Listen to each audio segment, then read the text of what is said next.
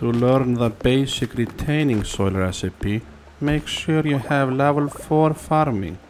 Once you have level 4 farming, you can go to sleep and learn the recipe, something. And it's basic retaining soil. It's one of the crappiest things in the game in my opinion. So if you want super crappity crap soil, make sure you crappity crap level 4 farming to crappity crap.